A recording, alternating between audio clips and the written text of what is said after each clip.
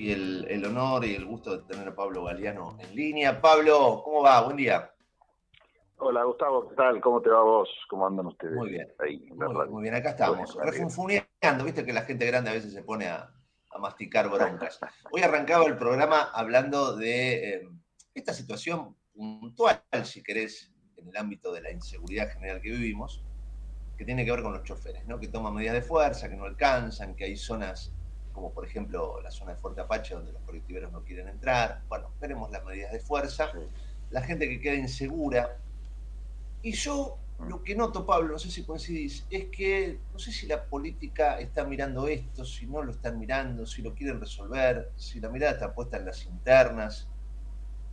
No sé, ¿cómo lo ves? Mira, yo creo que es un tema que sigue presente en las encuestas de opinión eh, y encuestas que son miradas con atención porque estamos en un momento electoral. Entonces, obviamente, el tema de la inseguridad eh, pega, ¿no? Eh, es cierto que, quizás sí, sí, está en la gente, ¿no? es cierto que quizás, bueno, tenemos que ver por, habría que ver también por zona cómo esas encuestas se diferencian, porque es increíble cómo en el interior todavía vos tenés zonas del interior del país donde siguen dejando las, las puertas abiertas, las, los autos abiertos sin pasar absolutamente nada, ¿no? Mm. Eh, hay, hay, pueblos así. Pero bueno, sí, es distinto también si pones la lupa, por ejemplo, en Rosario, donde a la inseguridad se le suma este, todos los temas vinculados no solo con el choreo común, sino que están vinculados con el narcotráfico y, y esas estadísticas también y cada vez son más los incidentes que están vinculados a esta esta tragedia que está azotando la provincia de Santa Fe. Eh, y si te vas, por supuesto, al conurbano bonaerense, también encontrás casos de inseguridad. En la capital, vos sabés que son como olas o modus operandi, ¿no? Yo me acuerdo que había momentos donde la inseguridad eh, tenía estaba vinculado al, cuidado de no tomarse taxis que no estuvieron identificados mm. con radiotaxis cuando no existían los Uber todavía o los o los Cabify o esas empresas, eh, porque bueno, el mismo taxista te, terminaba choreando, estaban estas modalidades de, secuestros express que te llevaban a pasear por los cajeros, eso parece que se terminó. Eh, bueno, después también hubo en una época mucho robo de bicicletas en la ciudad de Buenos Aires, que parece ser el, gran negocio, tenías un rodado lo mejor que puedes hacer es dejarlo en tu casa. En fin, son como, como olas también, ¿no? Que se van dando. Pero, y, bueno, y ahora tenés todo el tema de los, de los transportes públicos. Yo creo que, que se van a tomar algunas medidas de la, de la dirigencia política en función de que, sobre todo, eh, más que preocupados por los problemas de la gente, están preocupados por los problemas de la gente que pueden repercutir en la intención de voto, ¿no? Esto le viene bien, por supuesto, a, a la oposición, este, pero más o menos. Mira, el otro día, por ejemplo, yo, eh, vos viste que en la ciudad de Buenos Aires cada vez se ven más, desgraciadamente, gente durmiendo en la calle, ¿no? Sí, eh, sí. Sin embargo, con una amiga nos debatíamos si eso perjudicaba a Rodríguez Larreta o perjudicaba a quien realmente uno puede indicar como el responsable de esa situación, que es el gobierno nacional, ¿no? Porque eso habla de una situación de pobreza, abandono de personas, eh, o de indigencia más que de pobreza, ¿no? terminar viviendo en la calle.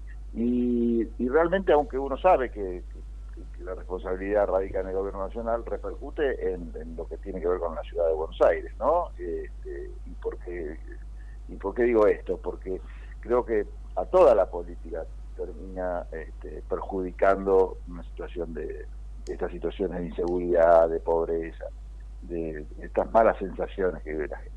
Entonces, yo creo que va a ser un año en el que la política va a prestar especial atención a esto, el tema es que tenga capacidad de resolverlos, ¿no? porque son problemas muy, eh, muy, muy profundos y serios y parece que la campaña, como siempre decimos acá, está más preocupada por inventar bonitos eslogans que por este, que por, eh, por ofrecer propuestas, propuestas y vías de salida.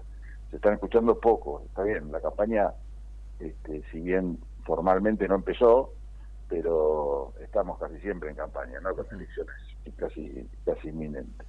Así que bueno, eh, por ahora la preocupación parece de la, de la prensa y de los propios políticos el saber si la reta arregló con Macri, si Macri se le pasó el enojo, qué pasa con, con ley en función también de, números de quién va a ganar, quién va a perder. Pero de la realidad de la gente sí, Gustavo, se habla muy poco. Vos sabés, Pablo, que, te escucho, Raúl, sé ¿cómo te va? Buen día. Hola, Raúl. Te escucho y, bueno, no solamente coincido, sino que al mismo tiempo uno mm, le puede agregar que, bueno, la interna puede ser, si querés, exclusivamente una cuestión interna, ¿no? Eh, obviamente el peronismo está buscando ver quién coloca este, si es Alberto o no para, para, para, para la justa electoral, este, lo mismo ocurre con la interna, y uno puede, si querés, criticarlo y llegar a este, y condenarlo, pero bueno, acostumbrarse, porque en definitiva están, si querés te lo pueden disfrazar y estamos pensando en el futuro de la gente y bla, bla, bla, pero las instituciones sí siguen fuera de la órbita de lo que le pasa, pasa a la gente, porque yo siento como un cachetazo haber leído esta mañana que después de, uno se da cuenta, cierto, es cierto, después de cinco meses el Senado se vuelve a juntar. Digo, ¿qué hicieron estos cinco meses? Mm. Eh, la, ley que van a tratar entre el, Lucio y el alcohol cero es algo que venimos hablando hace bastante. El alcohol cero, la ley del alcohol cero es fundamental para que no se muera la gente y seguimos este, tratando lo mismo. Ahí sí el cachetazo de la institución, del Congreso Nacional, es fuerte y ahí es donde más lejos sentimos a la clase política de nuestros problemas, ¿no? Sí, sí, sí. No, es, realmente una lástima y es una lástima que se hable con naturalidad de la política como una clase o como una casta, cuando en realidad la descripción es justa porque se están comportando como tal. Pero mm, esto sin hacerle el juego a la antipolítica, ¿no? Es muy difícil mantener el equilibrio discursivo cuando tenés una clase política que hace todo lo, posible por, eh, por, por, por, portar o mostrarse o mostrar malos comportamientos. Pero bueno, eh, dos cosas. Primero, sí, el, el, peligro de que una institución como el Congreso Nacional este, esté devaluado en, su imagen y en, su, en, sus, y en sus tareas, ¿no? Porque acordate tiempos oscuros de, Argentina donde estaba cerrado el Congreso, funcionaba como una oficina del Ejecutivo, eh, el, porqué de esa razón y, a eso no hay que volver, ni siquiera algo parecido. Pero es cierto, igualmente también yo le quito a veces dramatismo cuando miro este, canales internacionales y veo las noticias de lo que pasa en el mundo, ah, digamos, no hay parlamento tranquilo, eh, son, la, son reglas del juego. Lo que pasa es que, bueno, a veces esas reglas del juego hacen del juego político, ¿no?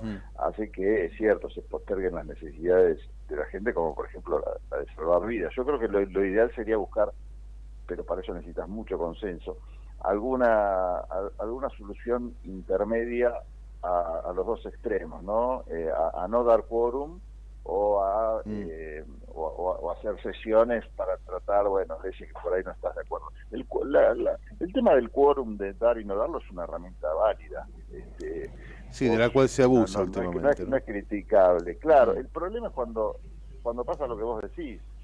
Eh, por ahí no das quórum para una ley que es una injusticia según tu partido, suponte, y bueno, y hablas con el resto de la oposición y haces el jueguito de no dar quórum por un tema puntual. Pero habría que buscarle la vuelta como para que, está bien, eso que fuera del, temario, eh, y, buscar quórums particulares quizás para, no sé si es posible, pues está ocurriendo ahora, para para cosas puntuales, ¿no? Porque, ¿Por qué si el, no querés tratar el tema del juicio a la Corte, vas a, vas a, perjudicar el tema de la ley de alcohol o, muchas universidades provinciales que quieren ser nacionales, o cual implicaría mejor presupuesto, creación de nuevas universidades que están siendo postergadas hace un montón en el interior, eh, porque bueno, están sometidas a este, a este juego, son víctimas secuestradas en esta lógica que es bastante perversa, como vos decís. Eso también aleja a las instituciones de la gente. sí. sí te llevo un poquito a la, a la oposición. Una de las noticias de la mañana tiene que ver con el anuncio de la reta que da por terminado, extinguido, la interna con el Macri. yo te pregunto, primero esto, ¿cómo lo ves? Y segundo, si el macrismo da por exterminado el problema con la reta. Sí, depende del diario que leas. Eh, eh, también algunos titulan que Macri da por terminado el tema. Este, yo creo que e-, esto no se hace por decreto, ¿no? sino que es una, una resolución interna y, y es un, un, dame y te doy, un toma y daca de, de, de, cosas y situaciones que, que hace que siguen estos, estos dos líderes del PRO a un acuerdo. Yo creo que Macri sabe que él si se hubiera presentado eh, perdía. Esto hizo que se bajara, esto hizo que perdiera un poco de poder adentro del PRO, si bien sigue siendo el líder. Yo creo que la decisión de la reta, más allá de, su convencimiento o no, en el hecho de que es mejor que respetar la voluntad ciudadana y darle a todos los, precandidatos la misma posibilidad, eh, también pasa por un hecho de decir, mira, yo muestro que tengo poder, venía mal en la imagen eh, y en las encuestas venía medio parado y esto lo benefició. No sé si mucho o poco, porque también esta información no es que vos vas por la calle y todo el mundo está hablando de dejó de hablar del precio de los tomates y, está hablando de, la, de, las elecciones porteñas, ¿no? este, este, es un tema de una minoría. Pero bueno, en esa minoría este, eso, cayó bien, porque los medios de comunicación en general salieron a, a, presentar la noticia como una buena noticia, como que la reta eh, se empoderó con esta decisión, digamos que tuvo a los medios a su favor, entonces bueno, el gran beneficiado de esa decisión es la reta. Ahora, si eso, este, a mí me parece inteligente que el macrismo más puro, más duro, eh, sí, sí, termine negociando con la reta porque, eh, bueno, hay que armar un gobierno si gana la ciudad de Buenos Aires por el cambio, gane quien gane, seguramente Macri va a querer tener sus legisladores, sus dentro de interna, ¿no? Dentro de las listas, va a querer poner sus legisladores, va a querer eh, poner su gente en la gestión, entonces mejor estar amigo del que tiene la lapicera, en este caso del Rodríguez Berreta, y, y condicionarlo que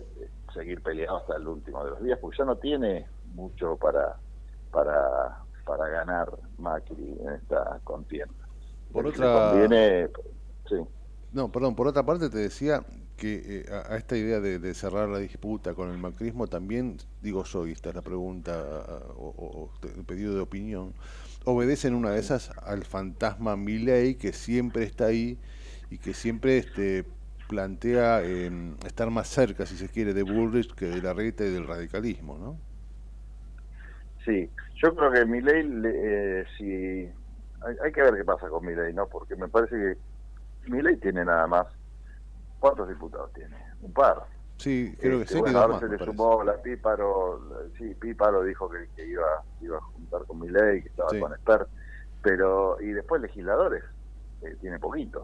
Lo que pasa es que, bueno, son muy mediáticos, está Ramiro Marra, está el propio Milei, que están todos los días en los medios y todo el mundo está hablando pero la verdad que hoy por hoy, en, en materia de votos, tampoco es. tenemos que estar hablando todo, el tiempo de, de Miriam Bregman y de Nicolás del Caño, y sin embargo hablamos de, de, Miley. Bueno, esos son los números concretos. Es cierto que las encuestas, bueno, lo muestran muy bien, también hay que ver, porque las encuestas son una herramienta electoral, entonces siempre con Yo lo escuché ayer dando por este, hecho un mm. empate técnico eh, con el Frente de Todos y decía que él ve cada día más posible la, la, idea esta del balotaje con, con el macrismo.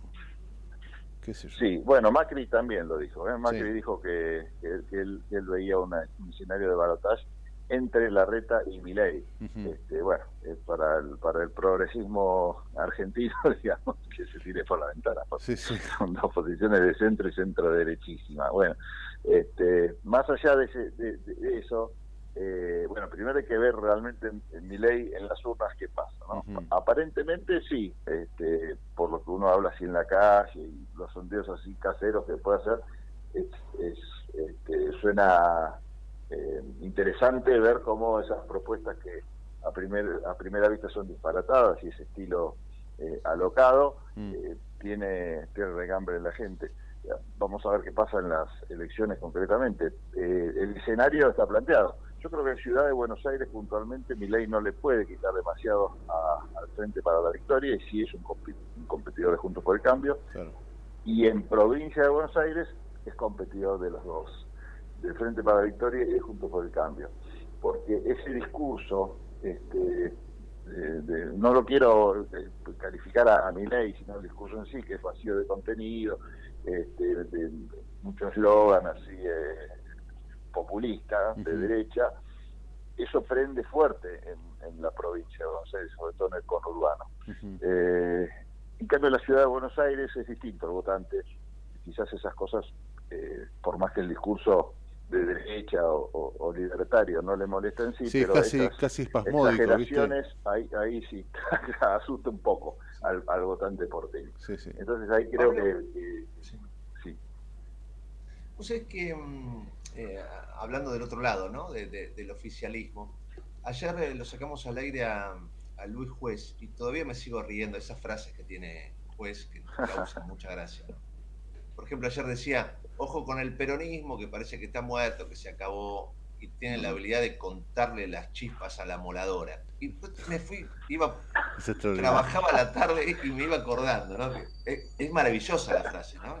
Qué, qué rapidez tenés que tener para contarle las chispas a una moladora cuando te trabajo. Bueno, me causó mucha gracia. Para, mí, para mí las tiene anotadas las frases. La deben tener anotadas, así pues te tira una por, entrevista, una o dos. Y, y con la tonada cordobesa le suma un 20%. Y con la tonada cordobesa que múltiple. Pero digo, yendo justamente a ese punto de la rapidez del peronismo. El otro día Daddy Brieva, en su programa, siempre polémico, por supuesto, pero tiraba algo, más allá de, su situación personal, lo que él siente. Sí, sí, sí. Se, te cortó un poco no, ahí. O sea, no, no, no, les están diciendo nada. O sea, vos fíjate cómo van pasando los días. Y el oficial, hablamos de, de Junto por el Cambio, de la reta, de Macri, de esto, de aquello, de mi ley. fíjate que del oficialismo, este, no, no, no te tiran un título, no sabes si están, qué está pasando. Mm. Es raro, ¿no? Mira, desde los medios oficialistas, por, por decirlo así, este, o, o más simpatizan con el gobierno nacional, eh, la preocupación es ocupar las noticias con el tema de Cristina y la justicia. Vos ves hoy la tapa de página 12 y o, cualquier tapa de página 12 de estos últimos meses y están con el tema Cristina, justicia, Cristina, justicia. Este, por supuesto no hablan ellos de las internas que tiene el partido, eh, pero tampoco para el periodismo es una gran novedad. Eh, eh, esto que, que sonaba disparatado ya desde el año pasado, el año, ¿ustedes se acuerdan cuando Cristina sacaba esas cartas este, o hacía esos comentarios en algunos discursos mm. que hacían tambalear al gobierno? Bueno, ya, está, el gobierno tambaleó, se, casi podríamos decir que está tirado en el piso, fruto de todas esas internas, pero que ya no llaman la atención. La novedad hoy por hoy son las cosas que pasan y los reacomodamientos que pasan en la oposición, porque eso es interesante. Es interesante el crecimiento de mi ley, o el supuesto crecimiento de mi ley, qué pasa Juntos por el Cambio, porque están, estamos mirando todos lo que parece casi una, una, una verdad, este, que, es imposible tapar ese sol con las manos, que es que el gobierno nacional hoy, a la foto de hoy, no gana las elecciones. Entonces no son noticias, o sea, no, no, no ganan, no son noticias. Eso se, se puede comprender por ese lado.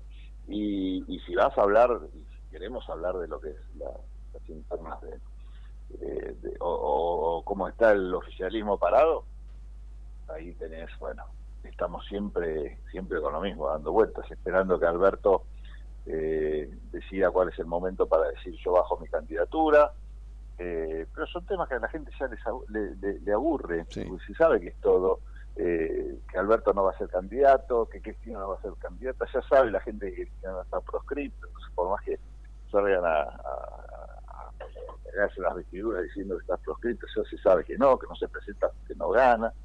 eh, ¿Quién más? Bueno, Daniel Scioli, que realmente no le despierta demasiada emoción a nadie, aunque es el candidato que mejor le iría, junto con Gustavo de Pedro, que es una persona que tiene un desconocimiento tan grande de la, sociedad, que también están evaluando si no dejar de, hacer campaña por Guado. Qué locura, viste que a veces eh, pasa. Eh, me, quiero quedar en, esto que vos acabas de decir.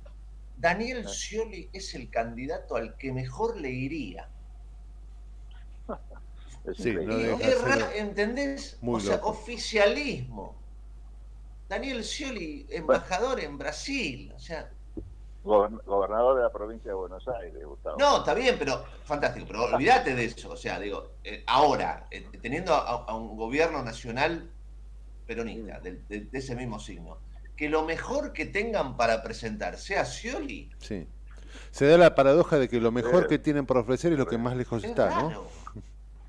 Pero escúchame, pero que sea gobernador de una provincia tan compleja como la de Buenos Aires, Daniel Scioli. Es, eso es, es, increíble. Pero bueno, qué sé yo, en Estados Unidos fue presidente Ronald Reagan. Entonces vos también decís, puede pasar cualquier cosa. Sí, sí, es, este, verdad. Pero bueno, qué sé yo, este, es un problema, insisto, ahí le sacamos dramatismo a nuestra clase dirigente o a, los dirigentes nuestros, ¿no? Este, yo creo que es un problema mundial esto, de la crisis de la dirigencia, mm. de la falta de credibilidad en la política, y después tenés, tenés resultados muy preocupantes, ¿no? En Europa hay una eh, hay, hay, hay, una tendencia a votar partidos ultraderechistas que realmente de humanistas tienen muy poco, eh, es un individualismo casi, muy casi salvaje y prehistórico el que está dominando la ideología europea. Y, bueno, y después no nos asustemos porque hay autoritarismo, totalitarismo en China, cuando en realidad también en los países occidentales están ganando tendencias que se le parecen bastante, porque China es, capitalista, pero es, el más capitalista de todos, pero políticamente es muy autoritario. Eh, y bueno, si, votamos partidos autoritarios, no, no vamos a tener demasiada diferencia. Así que, no sé, eh, tengamos esperanza en nuestra dirigencia, por lo menos sepamos que estamos... Con fe y con esperanza, Para, parafraseando a, a, Daniel Sion. Querido Pablo, la, la, seguimos. Un placer como siempre. Dale. Abrazo Un abrazo grande, chicos. Pablo Galeano, nuestra columna política.